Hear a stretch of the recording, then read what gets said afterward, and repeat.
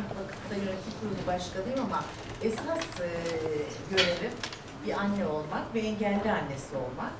E, bugün aslında bir konuşma hazırlamadım. Çünkü e, kendi hayatımdan anlatacağım için onu yazıya dökmek biraz e, tuhaf geldi. E, tabii böyle konuşacağım için de hani hatalarım olabilir, cümleyi başlarım ama devamını farklı getirirsem şimdiden kusura bakmayın. E, 54 yaşındayım. E, 26 yaşındayken bir kız çocuk sahibi oldum. Her şey çok güzeldi. E, fakat 10 aylıkken bir rahatsızlık geçirdi. Kötü bir rahatsızlık teşhisi kondu. Onun tedavisi yapılırken e, 15 aylıkken bir radyoterapi görmesi gerekti. Kızım şu an 29 yaşında E, ve e, o radyoterapi sırasında bir tane işte stafilokok dediğimiz bir virüs ölmediği için beyine yerleşti ve 15 aylık itibariyle de kızım engelli durumuna geçti. Esas hayat tabii bizim için öyle başladı. Çünkü o güne kadar hani 10 aylığa kadar gayet güzel işte normal bir Türk aile yapısı. İşte kültürel olarak düzeyimiz fena değil. Ee, işte sıkıntılarımız yok diyeyim ama tabii e, Zeynep'in engelliyle ve de o kötü hastalığın e, tedavi sürecinde 5 yıl kadar bir süreçte hani bir yandan engelliliğin ne olduğunu öğrenmeye çalışıyorsunuz anne baba olarak. E, bir yandan da çok ciddi bir hastalıkla mücadele ediyorsunuz. Dolayısıyla bizim birazcık engelli eğitimine dönük Zeynep'le ilgili çalışmamız e, iki buçuk yaşında falan başladı. Yani o işte e, steril ortam zorunluluğu kalktıktan sonra. E, işte o önemli olan burada bu işte şok diyeyim. Çünkü bir sürü aile bunu gerçekten çok kötü yaşıyorlar. E, bilse bile şimdi artık tanı hamileyken konabiliyor bir sürü hastalıkta ama e, bizlerin zamanında yoktu. Zeynep 87 doğumlu. Hani ultrasona giriyorsunuz vesaire. Ve bizim yaş grubumuzda engelli çocuğu olan insanlar e, cidden bir sürü şey el yordamıyla ulaş, ulaşmak zorunda kaldık. Çünkü yoktu. Ama en önemlisi o şoku atlattığınız zaman e, şunu düşünüyorsunuz. Ona nasıl yardım edebilirim? Nasıl destek olabilirim? Yardımdan kastımız aslında e, hani onun yerine bir şey yapmak değil. Ona bir yol açabilmek, bir yol gösterebilmek. E, hayatını daha sonraki hayatını daha düzgün sağlamasına e, da yardımcı olmak. E, bir şekilde buluyorsunuz yolunu. İşte e, herkes, aileler birbirine haber verip şurada şu doktor var, burada bu eğitimci var. İşte e, her tarafa götürüyorsunuz. Ve e, zaman içinde de böyle yaşamaya alışıyorsunuz. Ve o sizin hayatınızın gerçeği oluyor. E, hiçbir şeyden ben kendi aile yapımından döndüğüm zaman e, Zeynep'i hani hiçbir yerden sakınmadım. Her yani gidebileceğimiz her yere götürdük ama e, diyelim ki yürüyüş grubumuz vardı, yürüyüşe götürdük ama bir yerde durduk, yorulduk çünkü dedik ki hadi siz devam edin, bizi dönüşte buradan alırsınız. İşte onu da oyuna döndürmek durumundasınız çocuk olduğu zaman. İşte piknik örtüleri yayıldı, sandviçler çıkarıldı, meyve suları aile aile aile böyle birazcık hayatını onun da işte renklendirmek, hoş hale getirmek gibi bir şeydi bu. Gördüğünüz çocuklar bizim vakfımızın e, çocukları. Benim kızım da bunların arasında geçecek. Yakalarsam size bu Zeynep verir. E, şeye döneceğim e, gene hani Zeynep'le ilgili ya da onu bitireyim sonra vakfa geçeyim en güzel herhalde. E, işte o şoku atlattıktan sonra zaten işte fizyoterapiye götürüyorsunuz, eğitim aldırmaya başlıyorsunuz, hayata bir şekilde hazırlamaya başlıyorsunuz çok normal çocuktan aslında çok bir farkı yok. Nasıl ki kendi sağlıklı çocuğumuz için okul araştırıyorsak, işte bir doktora götüreceğimiz zaman doktor araştırıyorsak, engelli çocuklarımız için de bunları yapmak gibi bir şeyimiz var. Yani bunları yapıyoruz. Ama nedir? Sağlıklı çocukta işte okuduğu zaman bilirsiniz işte durumuna göre işte liseyi bitirecek, ha, üniversitede şuna gider veya tamam bitirdi meslek okulu vesaire. Bizim çocuklarımızda e, bizim böyle hayallerimiz yok. Biz en fazla dedik ki e, iyi bir okulda kaynaştırma olarak devam etsin hayatına. Çünkü toplumdan izole olmak e, çok can acı- acıtan bir şey. Bu aile içinde, çocuğun, bireyin kendi içinde. E, dolayısıyla işte ama bu da imkanlar ölçüsünde olan bir şey. Çünkü siz ben kaynaştırma okutacağım dediğiniz zaman bunu yapamayabiliyorsunuz. Çünkü sizi yönlendiren kurumlar var. Rehberlik araştırma merkezleri var. Onlar sizin çocuğunuz hakkında nasıl bir rapor verirse sizin çocuğunuz öyle bir okula gitmek zorunda. İşte kimimiz bunu buradan kaçmak için işte kolejlere vermeye çalıştık. Ama o kolejlerde bile e, veremediğimiz çocuklarımız oldu. Çünkü e, kolejlerde o dönem hep Anadolu liselerine dönüp çalışıyorlardı. Oraya çocuk yetiştirmek zorundalar. Ya da benim kızım koleje girdi ama e, o derslerin hepsini gördü fakat o dersleri sizler gibi anlaması mümkün değildi, anlayamıyordu. Bu sefer diyorsunuz ki hocayla konuşup işte lütfen benim çocuğumun sorularını farklı hazırlayın. Onun anlayacağı dilde hazırlayın, durumda hazırlayın. Çünkü şöyle bir şekilde geliyorlar. Ben çalışsam da iki alıyorum, çalışmasam da iki alıyorum. Oradan zaten çocuk kendi farklı davranıldığını bir şekilde öğreniyor, biliyor. İşte buna uygulayan hocalar oldu, uygulamayanlar oldu. Daha sonra işte iş okulları gündeme geldi. İş okullarında belli atölye çalışmaları yapılır, atölye sınıfları vardır. İşte ahşap, kuaförlük, bilgisayar, halı dokuma vesaire gibi. Ama bu okullardan, dört yıldır o okullar, ama bu okullardan çıktığınız zaman ne yazık ki bir işe yerleştirilemezsiniz. Yani yerleştirilmezsiniz ya da diyeyim. Çünkü e, ne okulun böyle bir imkanı var, sizin mezun ettiği öğrencileri bir yerlere yerleştirmeye, e, ne de devletin böyle bir şeyi var, sunduğu bir hizmet var. Dolayısıyla orada da hani hep kendi ölçünüzde yaparsınız bu işleri. E, dolayısıyla tabii bizim işte bu e, Zeynep'le başlayan sürecimizde e, Zeynep'in arkadaşlarının aileleri de bizim ailelerimiz oldu, dostlarımız oldu. Daha doğrusu yol arkadaşlarımız oldu. Mezuniyetleriyle beraber esas bizim hayat öyle başlıyor. Çünkü okuldayken e, sabah 9'da çocuk okulda oluyor, akşam işte 4.30, 5, 6 servis durumuna göre geliyor. Şimdi bir alıştıkları tempo var. E, zihinsel engeller için konuşuyorum. Ve pedagoglarla, psikologlarla konuştuğumuz zaman bize diyorlar ki e, temposunu bozmayın, alıştığı tempoyu bozmayın. Okul bittiğinde eyvah dedik ne yapacağız? Hani tek tek kurslar araştırdık. Ama baktık ki biz bu işin altından kalkamayacağız. Yani biz de yaşlanıyoruz ve artık gücümüz onları işte sabah 10-12 bir kurs, öğlen bir yerde yemek yedir, saat işte 1 üç başka bir kurs, üçten sonra eve getir, ertesi gün gene böyle bir tempo, işte spora götür vesaire derken en sonunda dedik ki biz bir araya gelip bir şey yapmamız gerekiyor. Bu çocuklara o alıştıkları e, düzenini devam ettirecek bir şey yapmaya gere- yapalım dediğimizde e, Tomurcuk Vakfı dünyaya geldi.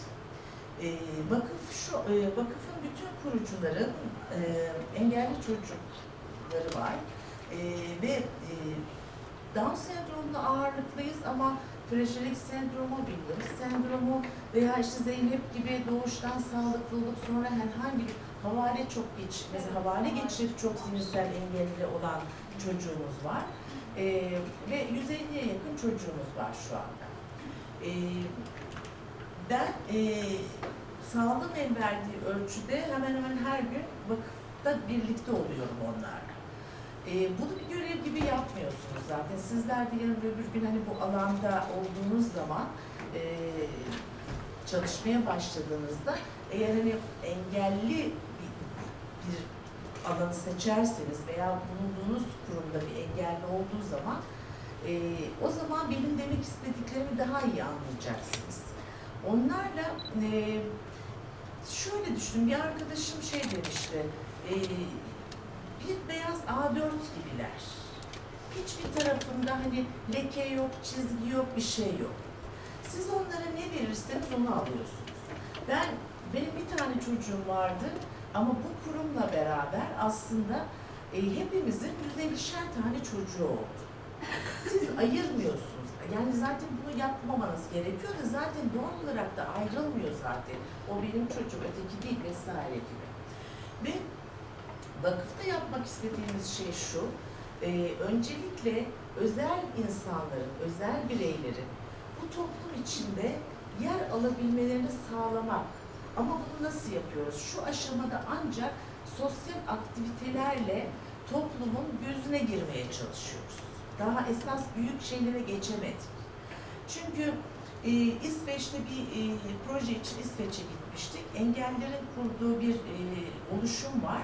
Matbaaları var, e, işte tekstil şirketleri var, e, şeyler dikiyorlar, kostümler dikiyorlar, işte matbaada ve bunu hepsini engeller yapıyor. Ama da bir sosyal devlet dediğimiz farklı bir şey yani oradaki işleyiş, belediyeler çok destek ve engellinin kendisiyle konuşma fırsatını yakaladı. Bizim çocuklarımız bize bu tür dönümler vermiyorlar. Belki anne baba olmamızdan kaynaklı bir şey bilemiyorum. Ama onlar e, bugün gibi aklımda Tommy bana şeyi sordu. Sen dikiş dikebiliyor musun dedi. E hayır dikmiyor, dikemiyorum dedi. Sen işte reçel yapar mısın dedi. Yapmıyorum dedim. Gerçekten de yapmadığım şey, yapamadığım daha doğrusu, beceremediğim şeyler. Peki dedi niye bizden dedi her şeyi istiyorsunuz? O zaman şöyle bir düşündüm. ya bunu söyleyen bir en- zihinsel engelli 30 yaşında da Tommy, şimdi 36 yaşında. Ya nasıl bir şey bu dedim. Yani biz bunu nasıl düşünemiyoruz? Çünkü bizlerde herhalde şöyle bir şey oluyor engelli ailelerinde. Hani çocuğumuz engelli olunca onu daha iyi yere getirebilmek adına daha çok şey istiyoruz herhalde. Hem kendimizden hem çocuklarımızdan. Şimdi böyle durdum bir dedim ki ya çok haklısın ve ben artık e, asla böyle bir şey yapmayacağım ve bizim mesela vakfımızın e, şeyi e, sözünü, onu, onun sözünü taşıdı. Lütfen yapamadıkları ile değil, yapabildikleriyle değerlendirelim diye. Burada gördüğünüz çocuklar, şu ritim grubundaki çocukların çaldığı cembeyi biz çalamıyoruz büyük olarak. Derse de girsek çalamıyoruz. Çünkü denedik. Hoca onları çalıştırırken dedik ki ya bakalım biz de yapalım. Gerçekten yapamıyoruz. Bir sergi grubumuz var. Ee, yani vakıftaki bütün çocuklar resim dersine giriyor ama 14 kişilik bir sergi grubumuz var. Bu 14 kişinin yaptığı resmi inanın bir sürü insan yapamaz. Bayağı ciddi ya akrilik boya çalışıyorlar. Ve şuna dikkat ediyoruz. Çocuğa bir şeyi, çocuk diyorum ama kusura bakmayın yani ya, o anne dilimle konuşuyorum. Yoksa genç, hani hepsi sizden büyük. E, 6 aylıkla e, 54 yaş arasında öğrencimiz var bizim. E, ama o dil alışkanlığı çocuk çocuk diye çıkıyor. E, şunu yapıyoruz.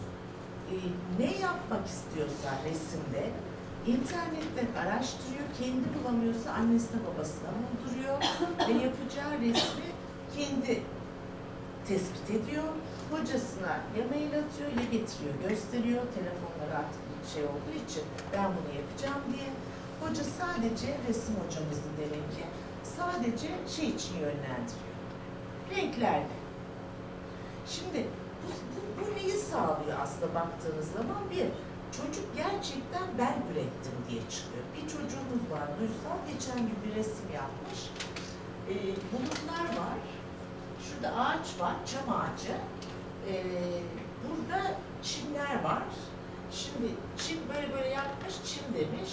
Burada ağaç, çam ağacı ama böyle çam ağacı elma ağacı aslında ama çam ağacı yazmış üstüne. Bulutlara da bulut demiş. Ha, iki tane de kuş var. Onlar da kuş. Tablonun üstünde bunlar yer alıyor. Bir de çam ağacının üstünde kırmızı kırmızı bir şeyler. Hoca da şeye çekmiş, videoya çekmiş. Duysal o kırmızılar ne diyor? Elma diyor Duysal. Nasıl yani diyor çam ağacında elma? Evet evet diyor çam ağacında elma yetişiyor diyor. E bir tane alayım çok güzel görünüyor diyor. Duysal'ın cevabı şu. E, yok biraz büyüsün de ondan sonra alırsın. Şimdi aslında baktığınız zaman hani bu komik bir tablo var. Bir de her şeyi hani zaten görüyorsunuz ama şimdi böyle bir şey bıraktığınız zaman bırakın o ne yapacaksa yapacak zaten. Ama o onun eseri. O onun tablosu. Duysal'ın tablosu bu oldu. Başka birisi şeye çok meraklı, e, O Ses Türkiye'ye. İşte tutturmuş mikrofonu çiziyor o. Onun amblemi olan şeyi çiziyor. Ama özgür bıraktığınız zaman aslında onların ilerlemeleri de farklı oluyor. Biz şöyle bir şey yapıyoruz vakıf çatısı altında ve tabii bu aslında bu yapılırken hani şunu da düşünün. Vakıf derken aslında evlerimizde de uyguladığımız bir şeyi vakıfta uygulamaya çalışıyoruz. Bu çocukların yalnız seyahat edebilmeleri. Son bir senedir özellikle İstanbul dışı seyahatlerimizde anneleri götürmüyoruz. Baş, ben mesela gelirken ben, benim yanımda başka birinin çocuğu oluyor. Ha gene aynı odada kalıyorsunuz. Ama herkese tembih ediyoruz. Sizden destek istemediği sürece dokunmayın. Girerken odaya diyoruz ki yardım istiyorsan bana söyleyeceksin. İnanın son seyahatimizde e, iki kızımızla birlikte kaldım. Biri 35 yaşında, biri 26 yaşında. Aynı odayı paylaştık. Geçen hafta Ankara'daydım. Bir tanesi e, 26 yaşındaki na- kilotlu çorabını giymek için destek istedi. Sadece o kadar destek. Üç gün geceyi beraber geçirdik. Biraz bu imkanı onlara sağlamanız lazım. Şu pembeli demin şarkı söyleyen de benim kızımdı. Bir ara ritim grubunda şarkı söylüyordu. Sonra bıraktı. Sıkılmış çünkü. Şu pandemi boyalı olan 32 yaşında Down sendromlu Gözde. Ee, Gözde 2500'lük puzzle'lar yapar. Ve asla yardım istemez. Ben kendi puzzle'ımı tamamlayamadım. Çok sıkıldım ve Gözde'ye götürdüm. Lütfen tamamlar mısın dedim. Ve ailesi geçen sene Caddebostan Kültür Merkezi'nde sadece Gözde için sergi, puzzle sergisi açtı. Ee, ve e, o sergide bayağı hani bizler nasıl kendi hobilerimizle ilgili ya da işte ne bileyim e, böyle hani büyük insanların sergileri gibi bayağı kokteyli, işte bir de keman falan böyle şeyli hoş yani hani değer verilerekten yapılan bir şey. E, ve e, özgüven böyle kazanılıyor diye ben düşünüyorum kendi hayatımdan da baktığım zaman. Onlara yaşama hakkını vermekle. E, çok kolay, hepimiz için çok daha kolay aslında. Hani su istediğinde, ay dur çocuğum ben sana hemen vereyim. Veya anne işte ne bileyim çorabımı giydirsin. Tabii çocuğum çünkü siz o çorabı giydirdiğiniz zaman 10 saniye. Ama o giymeye denediğinde en az 40 saniye ya da yarım dakika veya 2 dakika artık çocuğun durumuna göre değişen bir şey. Ama buna izin vermemiz lazım. Çünkü biz onlarla her zaman birlikte olmayacağız. Biz diyoruz ki en azından biz olmadığımız zaman çocuklarımız evet bir desteğe ihtiyaç duyacaklar. Ömür boyu duyacaklar. Onlar ölene kadar duyacaklar ama bu destek ne kadar az olabilirse o kadar hayatları iyi olur. Bir düşünün ki her şeyi el, ayağına bekleyen ya da işte bilmem ne şunu, şunu yapın, bunu yapın diyen biriyle hayatı devam ettirmek ayrı zor bir devam ettirecek kişi için. Bir de bunu en aza indirgeyip ne bileyim işte ya gideyim alışverişini yapayım da bırakayım demek veya bankadaki parasını çekeyim. Çünkü yasal haklarına göre e, bankadan para çekme şansları yok. E, oy kullanma durumları yok. E, bir sürü şey var yani yapamayacakları ve destek alacakları veya seyahat ederken bile e, bazı hava yollarında mesela yanında biri olması gerekiyor. Kimisi bunu yapmıyor ama bazı hava yolları bunu yapabiliyor. Dolayısıyla aslında e, anlatmaya çalıştığım bir şey. E, biz bunları yaparken, bu çalışmaları yaparken işte bu çocuklar eğitilirse şu oluyor, bu çocuklar işte bunu yaparsanız bu oluyor topluma ve herkese göstermeye, kendimize de göstermeye çalışırken esas gelmek istediğimiz şey bir gün ben veya benim gibi birileri burada bu konuşmayı yapmadığı zaman biz o zaman diyeceğiz ki evet toplum olarak gerçekten biz eee aşmışız bir şeyleri. Çünkü burada benim bugün konuşmam bile aslında bir engelli engelsiz ayrımını anlatmak. Ve istiyoruz ki hani böyle bir ayrım olmasın. Bizlerin nasıl bir hakkı varsa bu hayatta yaşamamıza dönük, her şeyi kullanmamıza dönük, engelli olan özel bireylerin de kendi çapları içinde bunu yaşamaları lazım. Ve biz bunları konuşmamamız lazım. Aslında ayıp bir şey yapıyoruz. Ee, çünkü hani ne kadar ki biz onları e, aramıza katmak isterken dahi bile e, hayır gözüne sokuyoruz aslında. Kendimizin gözüne sokuyoruz. Çünkü hep ne diyoruz? Engelli için kaldırım yapacaksın, engelli için kapıyı bilmem ne, engelli asansörü, şuydu, buydu, işte rampaydı, otobüslere bineceğiz, uçağa bilmem ne yapacağız. Ama bizler için konuşulmuyor mesela. Dolayısıyla da biz ne zaman ki bunları konuşmayacağız, her şey yoluna girecek. O zaman diyeceğiz ki tamam toplum olarak evet iyi. Ve bizim gibi STK'larda o zaman belki diyecek ki ya burada da işte çorbada bir, bir, bir ufacık işte tuzla benim tuzum var diyeceğiz belki. Ama tabii ben şimdi bunları anlatırken hani hayat çok toz pembe değil bizler açısından bakınca.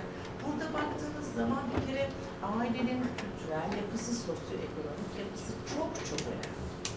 Ama hep diyoruz ki önce aile eğitmemiz gerekiyor. Aile eğitildiği zaman o zaten o zaman e, çocuğuna da destek olmak adına güzel şeyler yapabiliyor. İstiyor daha doğrusu. Gelip talep ediyor.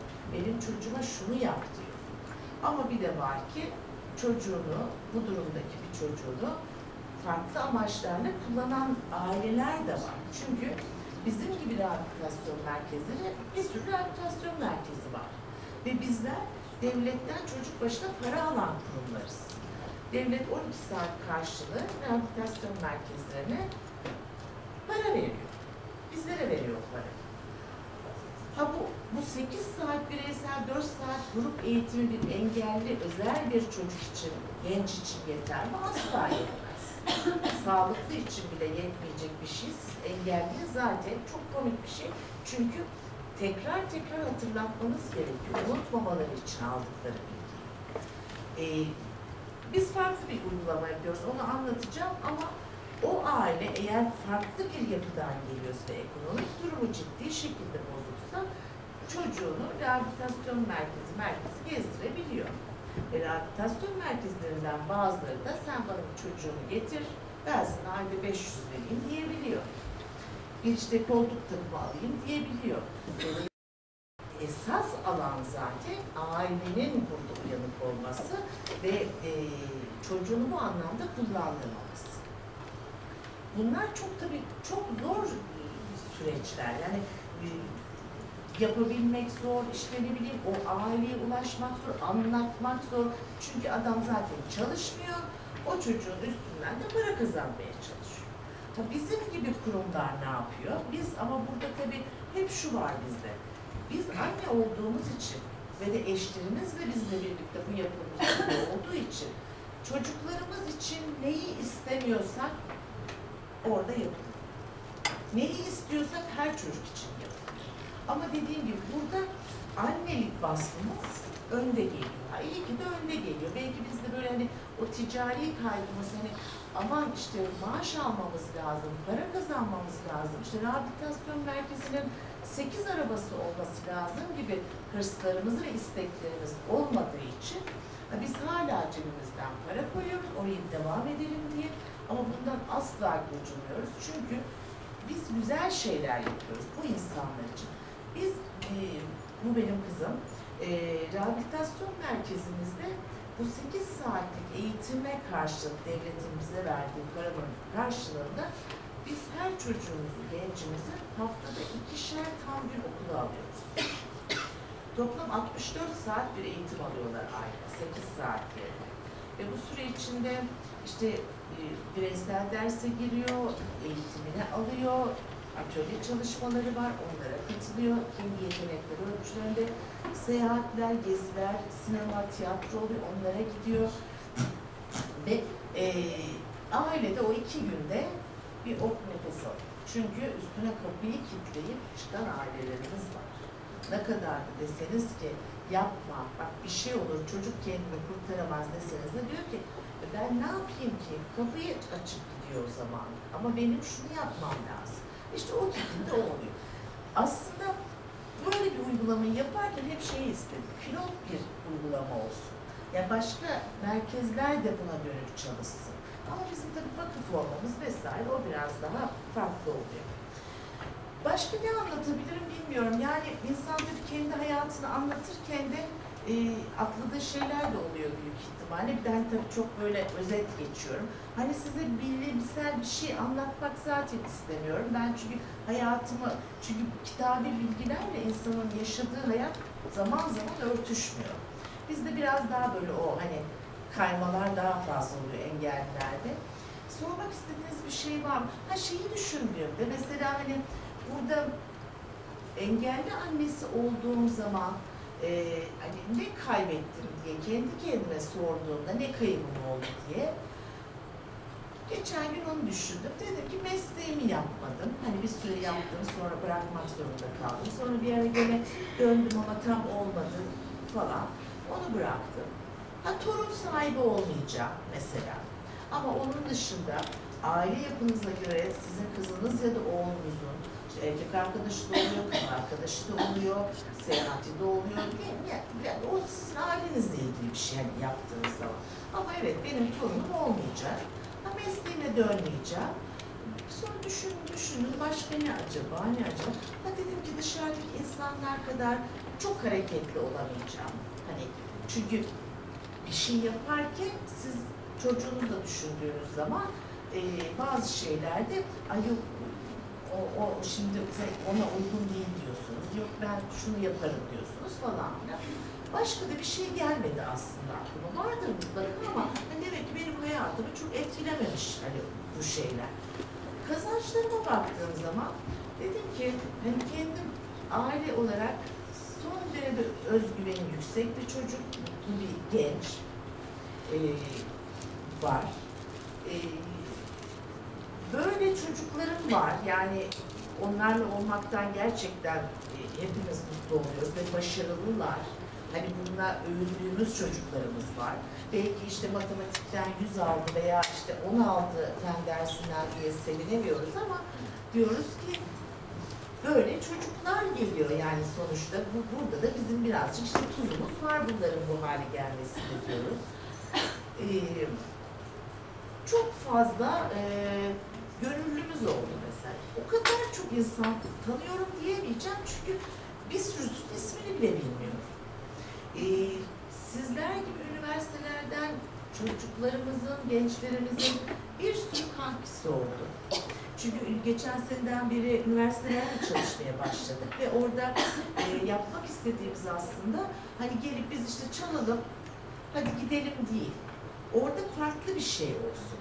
Ee, Yıldız Teknik Üniversitesi İnşaat Fakültesi bir maket çalışması yaptı çocuklar. Bir alanı e, bayağı evler, işte araba, yol vesaire bir maket böyle işte şu masa büyüklüğünde ve Türkiye'de ilk defa yapılan bir şeymiş bu. Zihinsel engelli bireylerle onların çalışması ve kendi baritim etkinliğinde de bunu çıkarttılar ortaya.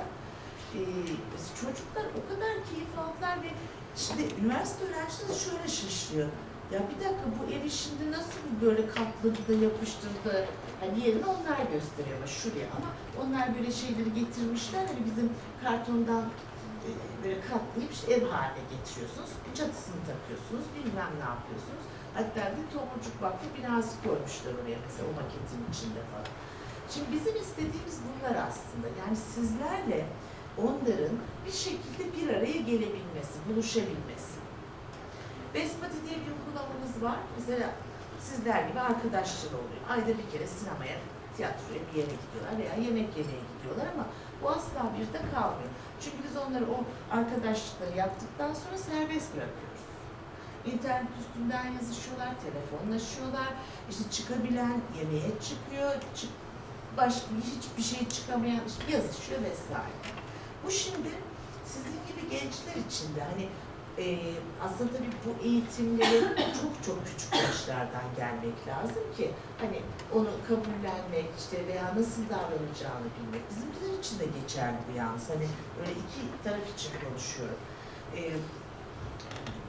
o zaman daha farklı geliyorsunuz. Bizim engelsiz atölyemizde e, en küçük çocuk 3 yaşında başladı engelsiz atölyemize.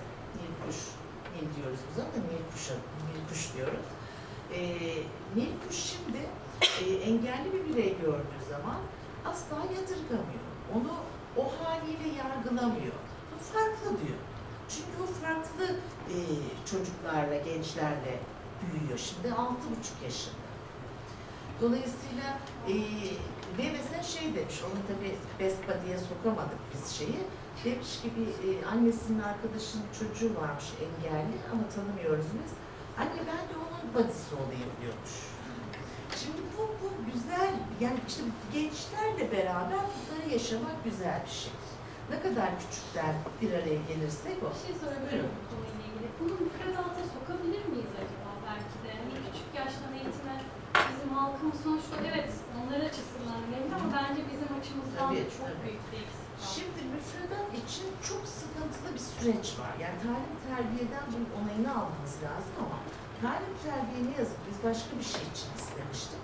Biz zannettik ki talim terbiyeye gideceğiz, onlar da hocalara bunu yazdıracaklar, işte onaydan geçecek falan. Öyle değilmiş. Siz yazın dediler. Ya bir dakika biz nasıl yazalım bilmediğimiz, bu konuda eğitim almadığımız bir şeyi hani yazıp bir de iyi bir şey yapayım derken farklı bir tarafa da gidebilir. Ee, üniversiteden hoca bulmanız lazım, sizin yazmanız lazım. Başka bir işte yerden bir şey bulmanız lazım ve talim terbiyeye gelmesi lazım ama talim terbiyede buna okey derse evet. Dolayısıyla bunlar hep işte e, liseler mesela Marmara Koleji. Devletin biraz. Evet, daha önce işte Yeditepe Üniversitesi, e, geçen sene Marmara Eğitim Okullarından grup vardı. Ondan önceki sene Irmak Koleji'ydi galiba. Böyle böyle yapıyoruz ama tabii bunlar da hani boşluk gibi düşün. Yani esas dediğiniz gibi bunun okulda belki bir ders gibi okutulması lazım ama daha ilkokuldan Evet, vermek o- lazım. İlk yardım Evet. gibi. E bizdeki kaynaştırmalar da çünkü hani yurt dışındaki kaynaştırma eğitimi gibi değil.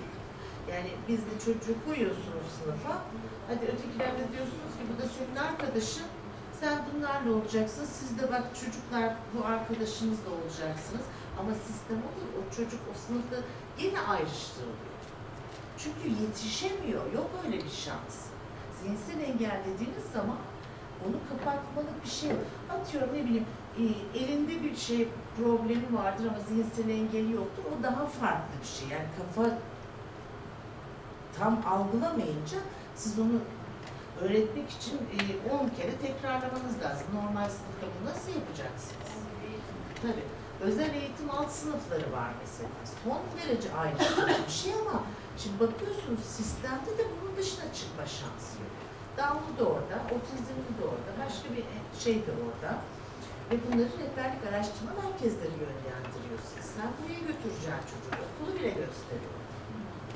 Oraya gitmediğiniz zaman çocuğu evde tutacaksınız o zaman. Yapacak bir şey yok.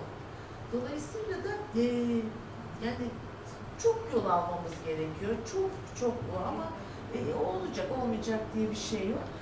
Ha, sonra mesela şeyi düşündüm. İşte çok fazla gönüllü tanıdık, çok fazla genç tanıdık ve e, gerçekten onlar artık e, ilk kurulduğumuz zamanlar biz telefon açardık. Ya bizi şuraya ayarlasana, ilişkilerimizi kullanalım. Bizi ayarlasana, işte çocuklarla bir gelelim, şu olsun bu olsun. Şimdi üniversitelerden bu sosyal sorumluluk projeleri sosyal kulüplerden inanılmaz şey geliyor. Her hepimize geliyor. Sırf bize de ben hani burada vakıf adına olduğum için vakıfı anlatıyorum. Başka kurumlarda hani onlara da geliyor. Ee, ve bu gerçekten e, bizler gibi insanlara bir şey ümit veriyor. Çünkü biz diyoruz ki e, ya işte bu yaştayız daha kaç sene bilmem ne olacak ama gençler gerçekten anlamlı geliyor. Ve hani laf olsun diye yapmıyorlar. Ay aman şunu bir öpeyim, elimizi tutayım, okşayayım, bir gün sinemaya götüreyim tamam değil. Onlar devam ediyorlar. İşte esas olay o zaten, devam etmek. Başka ne kazancım oldu? Ee, ilk etapta bu işte vakfı kurucu ailelerin aile, o aileler bizlerin aileleri oldu, oldu dedim ya. Ee, gerçekten hayat arkadaşlarımız yol arkadaşlarımız oldu. Çünkü aynı şeyi konuştuğunuz zaman bakış açınız da aynıysa çok rahat her şeyi birbirimize anlatabiliyorsunuz. Bu olumsuz da oluyor, olumsuz da oluyor. Ama anlamak çok önemli bir şey. Dolayısıyla e, ben umuyorum e, hepinizin hayatında hep güzel yol arkadaşları olsun. E, güzel işlere imza atın. e, hani hayata atıldığınız zaman da e, engellerle ilgili bir şeyler yaptığınız zaman çok çok mutlu olacaksınız. İnanın bu böyle. E, ben sonuçta bir anneyim. Hani e, Zeynep için bir şey yapmıyorum aslında ben baktığınız zaman. Ama e, diğer birilerinin hayatına dokunmak önemli bir şey. Benim kızım doğru düzgün okula bile gelmiyor. Bir de resim geliyor, gidiyor. Ama işte o siz orada başka birilerinin hayatına bir şekilde dokunuyorsunuz. Bir şey göstermeye çalışıyorsunuz. Aileleri e, farklı bir dünyanın da olabileceğini düşündürmeye çalışıyorsunuz. Ha yapabiliyor muyuz? Evet bazen yapıyoruz, bazen yapamıyoruz. Ters dönüyor. Ama vazgeçmemek lazım. Dolayısıyla da hani umarım sizler de yarın öbür gün birilerinin hayatına dokunup onu değiştirme şansına veya biraz daha iyileştirme e, şansına sahip olursunuz. Başka ne, ne anlatırım bilemedim. Sormak istediğiniz bir şey buyurun. 330 çocuk kapasitemiz. Şu an 150 çocuktayız. Çok sayıyı hızlı arttırmak istemiyoruz aslında. Aileler, aileler, aileler başvuruyor. Bu da şöyle gidiyor işte benim çocuğum orada ben memnunum diyorum ki işte arkadaşımın da var. Aa sen de işte bilmem nereye götürsene diyorum. Rehberlik araştırma e, merkezinin raporlarıyla geliyorlar bize. Ücretli mi? Hayır. E, iki, yani vakıf sponsoru olduğu için bu duruma ücret almıyoruz. Ama vakıf sponsoru yani alan bizim gibi yapan kurumlar var. Bir tanesini geçen gün öğrendim. Bir gün için ücret almıyormuş, bir gün için alıyormuş. Hani o demek ki maddi durumuna göre fark ediyor şey. Bizde yok ama. Başka ne anlatayım? Gönüllü olma kriterleri var mı? Nasıl gönüllü olma kriterleriniz var mı? Ee, gönüllü olma kriterimiz şu var. İstiyoruz ki, yani bu yazılı bir kriter değil tabii ki. Ee, hani bir gün geldim, yaptım, birlikte olduk, hadi tamam bir daha yok mu? Olmamasını arzu ediyoruz ama olmuyor mu? Oluyor. Yoksa e, ama hani e, arzu ederim ki bir gün hani grupların halinde gelinebilir, orada işte benim, çünkü yerimiz müsait binamız. E, orada işte birlikte aktivite yapılabilir. Biz e, işte şimdi kolejlerde de şey yapıyoruz mesela Ebru çalışması. E, 10 kişi geliyorlar, 5 Ebru çalışıyor. 5 tanesi işte ya kokulu taş döküyorlar, çerçeveydi falan filan ya da işte bir tane tuvali birlikte boyuyor iki çocuk, bir bizimki, bir onlarınki. O tür çalışmalar yapılabiliyor. Evet, evet. evet. Tabii. Peki çocukları neye göre alıyorsunuz? Çocukları şöyle, e, rehabilitasyon merkezlerinin programları, yani ruhsat alırken programları da alıyorsunuz siz. Ve işte orada e, o programlara göre rehberlik araştırma raporlarında yazan program sizin bünyenizde varsa geliyor. Mesela biz otizm programımız yok. Bizim mesela otistik hiç çocuğumuz yok. Alamayız. İstesek de alamayız. Dolayısıyla rehberlik araştırma merkezlerinde çocuğun tanısında yapan, yani tanısı gereği alması gereken programla kurumun aldığı program, ruhsatındaki program uyuyorsa bir problem.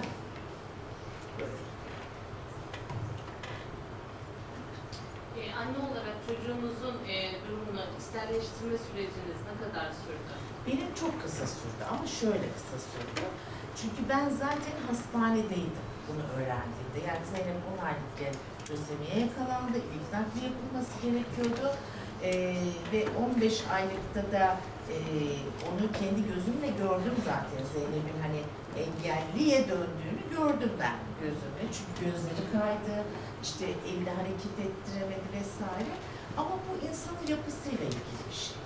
Ben genelde hani böyle hayata daha çok hep olumlu tarafından bakıyorum. Hatta şunu söylemiştim ben o zaman da. Ya Zeynep iyi ki bizim çocuğumuz olmuş. Çünkü benim abim o zaman yurt dışındaydı, Brüksel'deydi. Ben onun kanalıyla mesela Brüksel'e götürdüm. Çünkü Türkiye'de yoktu ilk nakli o zaman. O yaş bu, 10 aylık çocuğa. İşte imkanlarımız vardı. Sonrasındaki süreçte işte onu daha hızlı adapte etmeye çalıştık. Ee, ama belki başka bir ailede olsaydı kay, kayıptı şu anda. Yoktu öyle bir çocuk. Ama bu her ailede veya çoğunlukla mesela babalar reddediyor.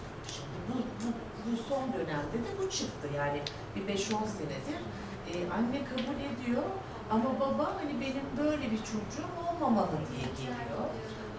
Tabii ve, ve biten çok evlilik var ya da bitmese bile o şoku atlatana kadar baba bayağı bir anneye de ciddi çektiriyor. Şiddet uygulamıyor. Hani, hani tokat anlamında şiddet değil psikolojik şiddet daha büyük bence hani baktığınız zaman bakınca. Ee, herkes için değişik bir şey. Hala atlatamayan insanlarımız var mesela. Çocuğu da kondurmuyor bir de. Yok yok benimki öyle değil diyor mesela. Onlardan kaynaklı. Başlamıyoruz Ama ya. şu da var, şimdi aile yapıları da çok. Şimdi şöyle bir şey var, şimdi bir velimiz vardı. Ee, Hilal bize 6 3 aylıkken başladı ama raporsuz çünkü rapor çıkartmak zor bir şey. Hele şimdi Down sendromu bir yaşından önce çıkartmıyorlar. Bu da çok yanlış bir şey. Ne kadar önce başlaması lazım çünkü eğitime. Biz onu aldık raporsuz. Ee, baba şey, e, kabul etmiyor önce. Ee, fakat Hilal de o kadar güzel, o kadar sevimli bir çocuk ki alın içinize sokun. Yani böyle şey, muhteşem bir şey. Ee, annem bir yandan işte kendi aramızı aldık. Hani bizleri görsün. Ve ben hep onu diyorum. Ee, evet engelli birey olmak tabii ki zor bir şey ve e, zor kabul edilebilecek bir şey ama bu yaş yani bizim çocuklarımızın yaş grubunda engelli olduğunuz zaman dediğim gibi başta her şeyi kendiniz bulmaya çalışıyordunuz. Şimdi engelli doğan bir çocuğun ailesi daha ilk günden zaten işte dernekler var, vakıflar var, internet var, doktoru var, rehabilitasyon merkezi var. Yani bu yeni damlı mesela diyelim doğan 20 yıl sonra gerçekten bizim çocuklarımızın çok çok ötesinde olacaklar. Hem eğitim olarak, bilgi düzeyi olarak belki de fiziksel olarak da öyle olacaklar. Yurt dışında mesela şeyler var. İşte devamlı bir çocuğun yüz genetik özellikleri, yani kromozom özelliği nedeniyle hepsi aynıdır. Bakarsınız küçük kulak, işte büyük, büyük kemiksiz şurası da şey, e, basık burun, gözler çekik, ense kalın ve şey yok, elmacık kemiği, işte el ayasındaki çizgisi ve ayakları, parmakları böyledir ayak parmakları ve çoğunda düz tabanlık falan vardır. E, seneler önce bir şey seyretmiştim, bir e, belgesel. İngiltere'de bir damla kız çocuğunu ameliyat yaptılar. Çok böyle anlayamadım yani bu nasıl o hale geldi diyorsun. Estetik ama değil, küçülttüler, işte bu kulak hani küçük kulak çok der, gözler farklı oldu. Ama şimdi dişler, çünkü diş yapıları da onların şey, sıkıntılı. E, ama hani tamam o hale getiriyorsunuz ama çocuğun burası aynı. Ya o da kötü bir şey. İyi ama ailelerden çok da bir de şöyle bir şey var. Mesela gelinseniz bak gördün mü? Ayşe'nin gelini sapasağlam. Erkek kız çocukları olur ya. Sen doğra doğra bunu doğur. İşte orada sanki kadın kendi kendine yani. yani dolayısıyla işte oradan o kayınvalide bir şey diyor, öteki bir şey diyor. Ee, ama tabii bunlar daha çok işte sosyokültürel düzeyi düşük olan ailelerden kaynaklı. Evet, evet. Buyurun. Ee, peki e, size daha önce böyle e, olumsuz kabullenememe duygusuyla gelen baba veya anne geldiğinde e, onlara tanık oluyor musunuz veya yumuşama süreçlerine tanık oldunuz mu hiç? Hani daha sonradan sert bir mizaçla gelip kabulleneme bu benim çocuğum değil böyle bir şey olamaz deyip de daha sonradan iyi ki benim çocuğum böyleydi. Hani iyi ki bu çocuk benim çocuğum olmuştu. Yani ailelerle hiç Var, karşılaştınız var. mı? Şimdi bir tanesi kendi arkadaşım, vakıf üyesinde değil. Ee, kızı e, 85 doğumlu, e, zihinsel engelli, yürümesinde problem olan, o da doğum hatası. Ee, babası, e, babası e, 22 yaşına kadar kabullenmedi. Ama aynı evin içindeler. Fakat hani o çocuk o evde yok gibi. Hani anne çok şey, e, birlikte ve anne her tarafa taşıyor çocuk. İşte okula taşıyor, e, ödevlerini kendi yapıyor ama öğretmen anlamasın diye sol eliyle yazıyor. Çok ağır değildi ama e, yani zihinsel engeli vardı. İşte yürürken parmak ucunda yürüyordu, hızlı hareket edemiyordu. Ama bu arada o çocuk piyano çalıyordu ve besteler yapıyordu. Baba onu da görmezden geldi. Biz hepimiz ne kadar güzel, ne kadar güzel derken. Ta ki çocuk liseden gibi okul, liseyi bitirdi, Peren Lisesi'ni. Biraz işte annenin takviyesi, şudur budur.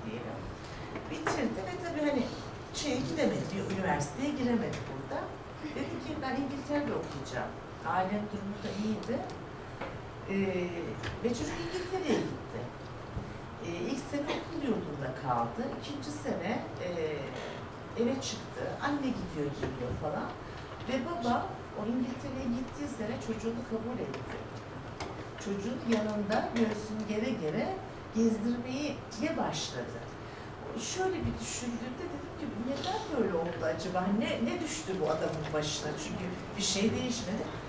Ee, çevresindeki bütün arkadaşlarının aynı yaş grubu hemen hemen, üniversite işte bir yaş, iki yaş, ee, çocukları yurt dışına gidebilecek maddi ve manevi şeye sahip olmalarına rağmen hiçbiri gidemedi cesaret edip.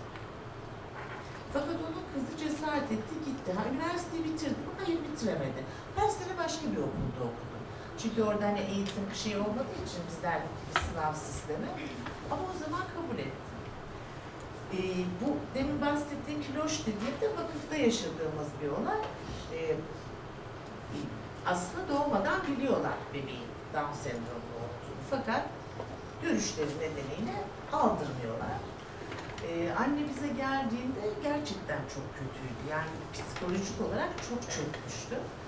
Ee, babasının işte babanın kabul etmediğini, e, işte böyle bir çocuk doğurduğu için aile tarafından da hani dışlandığını, kimsenin onlarla görüşmek, daha bebek ama bu arada yani çocuk da herhalde 25 günlük falan ben Şiroş'un o hali ilk geldiği günü hatırlıyorum bize yani 21 bir ay ya da diyelim öyle. Ee, ve kadıncağız ağlıyor iki göz iki çeşme. Tabii hani siz ne kadar ikna etmeye de çalışsanız, ona bir şey de söyleseniz, o orada yaşadığı hayatı düşünüyor, yaşayacağı hayatı da düşünüyor aslında. Ama sonra zaman içinde Kiloş böyle o kadar sevildi ki biz işte aldık başladık onu işte üç aylıktan ama orada psikolog ele gidiyor işte anneyi çağırıyoruz bak sen hani e, şey yaptıkça gel bir kahve içeriz bir sohbet ederiz. Bak senin çocuğun işte demin sizlere söylediğim gibi bizim çocuklarımızdan çok çok ileride olacak. Bak bizler hani bak bu hayatı kaç senedir sürdürüyoruz bak biz nasılız? Hani hayat böyle geçmez, geçmemeli zaten bir şey de yok falan diye biraz daha tabii hani şey yapıyorsunuz. Ee, şimdi e, hemen hemen her gece olmasa da iki akşamda bir Hiloş'un babası Hilal kucağında veya yanında Facebook'a fotoğraflar koyuyor. İşte kızım aşağı, kızım yukarı. İki tane de şeyi var. Üçüncü bebek Hilal bebek. Yani iki oğlu var. Kız çocuk istemişler. Hani onun için üçüncü deneyelim demişler ve böyle bir şey. Ama e, yani yol, alınan yol şimdi çok mesafeler çok hızlı aşılıyor. Onun için böyle. Ben bir şey sormak istiyorum. Şimdi çoğunlukla Down sendromlu çocuklar var. Ee, 150 mi demiştiniz? 150 148 galiba. 148 ama eminim hani çok fazla Down'lu çocuğa sahip olan ailelerle de görüşmüşsünüz. Yaklaşık annelerin doğum yaşlarıyla ilgili bir öngörünüz var mı? Ee, Yok, çok oynuyor değil çünkü, e, Evet çünkü mesela bizde şey, yaş grubu hani biraz yüksek olunca bir daha onların da olduğu e, şey böyle durum neredeyse hani hani Hiloş ve 3-4 çocuğumuz hani 14-15 yaşına kadar down diye düşünürsek geri kalan hep 20'nin üstü ve 30'un üstü gibi düşünün. Ee, ama e, işte anne mesela 22 yaşında doğum yapmış. Evet yani çok çünkü Down'da özellikle kromozom bozukluğunda hani o kadar anne e, dan altında diyebileceğim kadar şey. Çünkü doktorlar direkt annenin e, den gelen bozuk genlerden olduğunu söylüyor. Ama ben de özel eğitim merkezinde çalıştığım için zamanda danışmanlık merkezinde çalışıyorum. Annelerle konuşuyorum. Kaç yaşında doğum yaptınız? O kadar hani böyle inişi çıkışlı Yok ki. mesela hiç şeyin annesi de genç. Hilal'in annesi iki çocuk sahibi ama hani 28 yaşında falan. Yani o kadar normal doğum yaşlarında e, görülebiliyor ki Down sendromu. Ama bir yerde de işte 40, 41, 42'de de riskler daha fazla olduğu için o anneleri de işte kaç yaşında 40, kaç yaşında 41 ama bunlar kadar ben işte 25'inde, 22'sinde, 28'inde, 30 yaşla 25 arasında O çok fazla mesela Down'lı çocuk puzzle, puzzle yapıyor dedik ya Gözde mesela. Gözde'nin annesi 21 mi 22 yaşında mı ne doğurmuş Gözde. İlk çocuğu Gözde. Sonra bir kızı daha var. İşte bunu hani sadece anneye ve anneden gelen e, zevklerine bağladıklarında çok hani hakikaten E, tabii şimdi şey var herhalde. Mesela frajilik sendromunda da bu anneden gelen bir şey. Fakat anne taşıyıcı. Ee, bizim de bir tane çocuğumuz var frajilik sendromu. Ben öyle öğrendim. Bilmiyordum. Yani frajilik sendromu ne onu da bilmiyordum açıkçası. Ee, sonra bir frajilik süreci Allah Allah nedir? Anne taşıyıcı, kadın kadın asla hasta olmuyor. Fakat erkek çocuk doğurursa ağır zihinsel yani otizmi de içeren içinde ama e, ciddi ağır bir engel çıkıyor. Kızlarda belki hafif derecede mental şeyler. Şey şahit olmadım. Yani okumadım da öyle bir şey. Vardır belki de. Böyle Hani bir de şeyler var. Hani. Muğra'nın annesi hani taşıyıcı, ben direkt Orta Doğu e, kimya mühendisliği mezunu. Son derece öyle zekası falan yüksek bir kadındır ben yaşta. Hani onu da sormak da gelmedi. Acaba hani kız taşıyıcılar farklı mı oluyor belki de onlar da hani kendi aralarında evet biraz ortaya kadar yapabiliyor. Ama hani erkek çocuklarda yarattığı o mentali e, kız çocuklarda şey yapıyor. ağır engel oluyor yani erkeklerde. Evet. Ee, ben bir şey sormak istiyorum. Ee, normal çocuklar yani anaokuluna geldikleri ilkten e, alışma sürecinde zorluk çekiyorlar. Ee, peki e, bu vakıflarda e, çocuklar da alışma mu? Valla çok hani kendi kızımdan da yola çıktığım zaman çok çe- çekilmiyor diye düşünüyorum. Çünkü hani e, şimdi e, eğer ki hani tam bir eğitim veren bir rehabilitasyon merkezi zaten okul ortamlarından alışık oldukları için hani okul gibi haftanın iki gün oraya gitmiş oluyor. Eskiden 45'er dakikalık genel uygulama odur zaten. Hani 45'er dakika gelirler, evden alırlar veya okul çıkışı alınır. Rehabilitasyon merkezine gider dersin. Görür evine gider ya da merkezin şey, okuluna, okula dönmez, eve döner.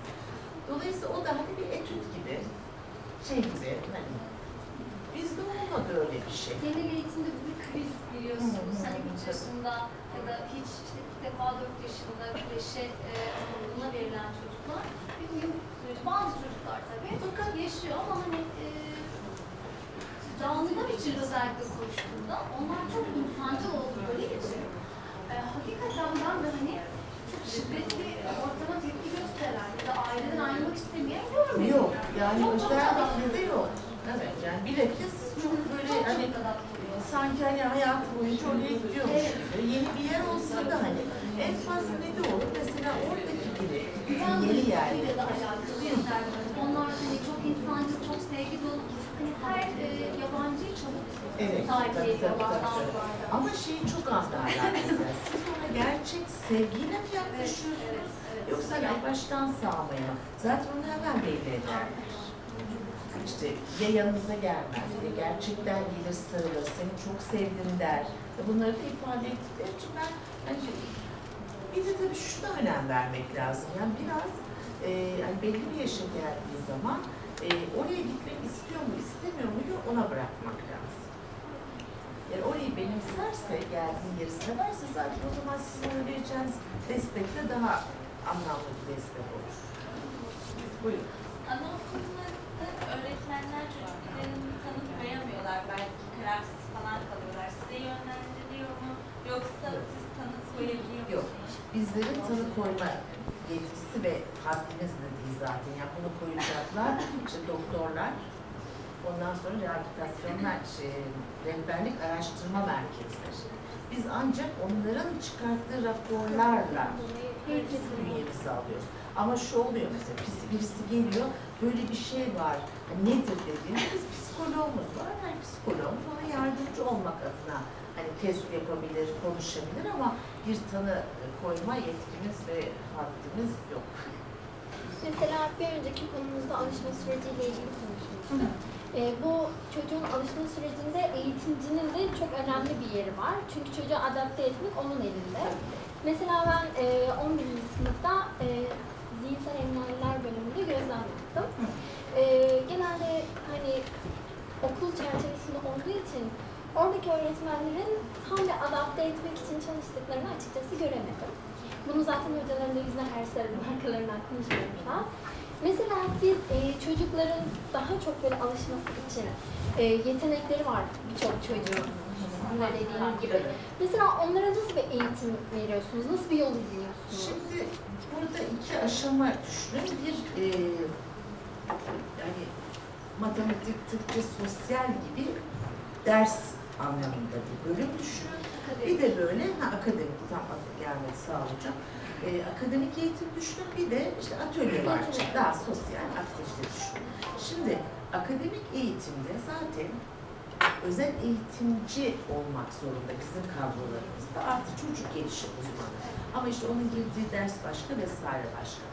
Şimdi orada zaten sizler e, bizler de hani birlikte çalışacağımız insanları e, açıkçası hani böyle yumuşak ama hani çok da böyle her şeyi e, aman işte tamam canım o onu da yaparsa yapsın diye. Hani tatlı sert deriz ya öyle bir şekilde gitmesini istiyoruz. Çünkü çocuklar şimdi bazı çocuklar var canım hayatım dediğinizde çok farklı bir şey gö- gösterir. Tepenizin şurasına çıkar. Ona mesela dur diyebilmelisiniz. Ama ben mesela bunu hiç yapamadım. Yani hayatımda yapamam da zaten. Dolayısıyla ben öyle bir eğitim kısmında değilim. Hani ben vakıf yönetimindeyim. Diğer kısımda da hocalarımız bütün çocukları bir işte müzik hocası kulak testinden geçirir. Bu yapabiliyor.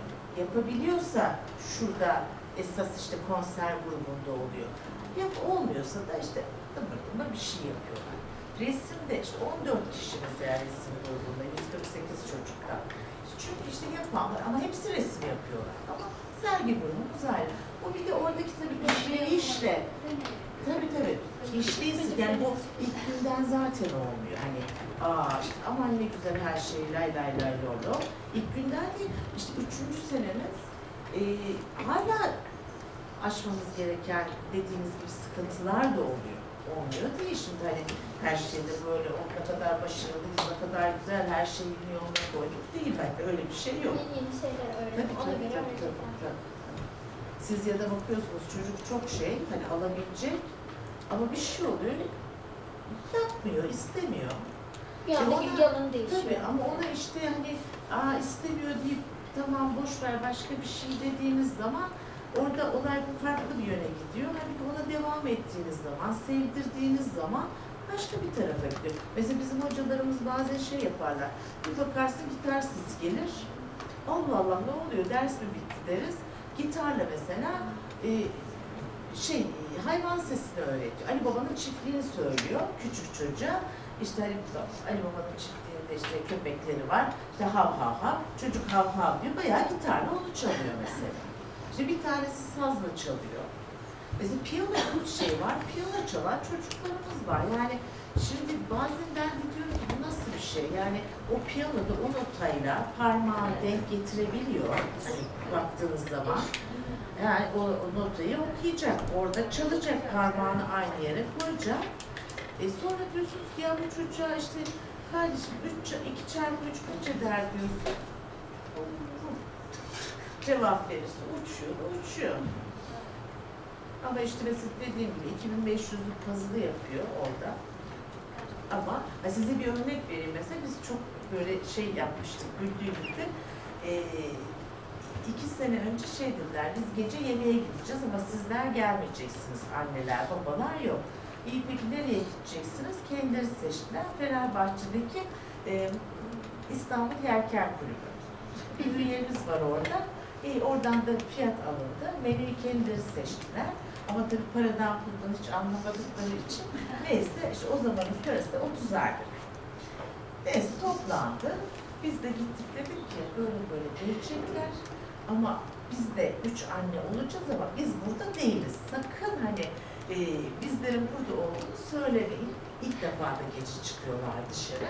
Neyse herkes getirdi çocuğunu bıraktı saat işte yedi buçukta İstanbul Yelken Kulübü'ne oturdular. İşte müzik falan da yapıldı. Bu arada yalnız bir iki tane de e, işte birinin yeğeni var ama aynı yaş grubu. İşte o zaman da gene 20-24 yaş arası grup. Kaç? 25 26 kişi falanlar herhalde. Neyse yediler, içtiler, güzel gece döndüler. İşte biz kaçta işte 3 saat dediler. İyi peki. Biz 3 saat sonra işte geldi aileler de aldılar ama çok saati falan da mefhum olarak anlayamıyorlar aslında. Yani 3 saat diyor ama o 3 saatte onu anlayamıyor ama zaman geçirdiler, danslar ettiler falan filan. Ertesi gün okuldayız. Bir şey bizim Gözdemiz, bu hani puzzle yapan çocuğumuz geldi. Servis teyze biz dedi tatile gideceğiz arkadaşlar. Ay ne güzel dedi, tabii yemeğe gittiniz dedim değil mi? Anneler yok, o tatilde ne eğlenirsiniz? Nereye gideceksiniz dedim. Bodrum'a gitmeye karar verdik. Aa çok güzel, kaç gün? Üç ay. ha, peki, ee, fiyatlara baktın mı dedim. Bakacağım dedi. Tamam sen bir bak öyle konuşalım. Üç ay çok uzun bir zaman. Bak bir ay dokmuş 30 gün. Üç çarpı yani üç ay 90 gün. Çok uzun. Bak takvimde sayfaları çeviriyorum. Yok yok biz gideceğiz dedi. Tamam peki dedim. Ertesi gün geldim. Ben baktım düşün. O zaman da öğrenci temsilcisi. Bizim de böyle şeyimiz var. Genç yönetim kurulu var. Gözde onun başkanı o zaman. Ee, tamam Servet teyze dedi. Ben şimdi paraları toplamaya başlıyorum. Önce dedim ailelerden izin alman lazım. Hani öyle gönderebilecek ya. Gönderirler gönderirler sen merak etme dedi. Ee, kaç lira toplamaya karar verdik? 30 lira dedi. Gözdeciğim dedi. 30 lirayla bir gece yemek yediniz siz orada. Bak tatile gittiğin zaman bunun yatması var. Sabah kahvaltısı, öğle yemeği, akşam yemeği hepsini bak. Tamam işte Sermet teyze 30 lira toplayacağım. 30 lira. Kızı ve anlatamadım. Hocayı çağırdım. Dedim ki bunun bir yöntemi var mı?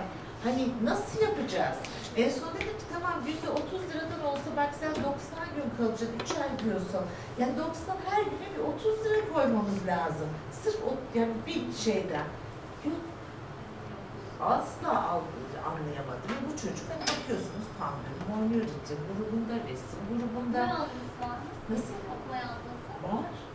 E, kağıt üstünde inanın 978'de 542'yi size tık diye toplar. Ama değil ki şimdi bizim problemlerimiz şöyle. Tabii. Bizdeki problemler şöyle mesela matematik çalıştıkları zaman. İşte 20 lira paramız var, pazara gittik. İşte kilosu 3 liradan 2 kilo patates aldık. İşte kilosu 4 liradan 1 kilo da domates aldık. İşte kaç liramız kaldı? Bunu çözebilmesi mesela Gözde'nin ki Gözde mental olarak hani dağlı olmasına rağmen hani iyi yetişmiş bir çocuk 10 dakika.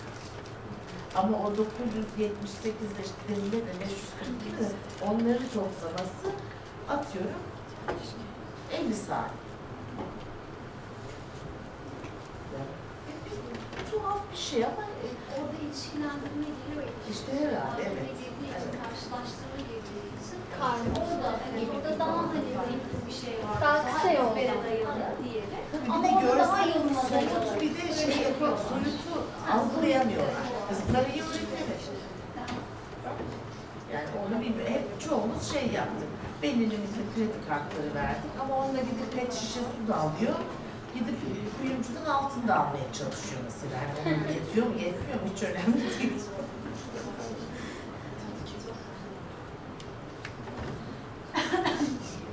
Var mı sorun? Ben bir şey sormak istiyorum. Engel türlü göre farklı çocuklar oluyor.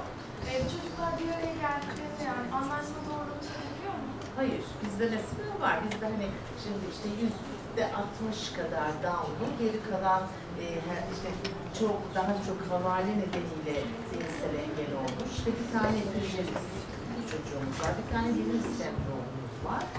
Ama evet ağırlıklıda ve geri kalanlarda e, veya doğum sırasında kordon dolanması nedeniyle olan yani onlar spastik oluyorlar. E, hani o tür çocuklarımız var. Ama sanıyorum bizim birazcık da şansımız var bu konuda. Yani gerçekten e, yani hani çocukların durumuna baktığınız zaman hani bize gelinceye kadar ki ailenin verdiği eğitim nedeniyle iyiler.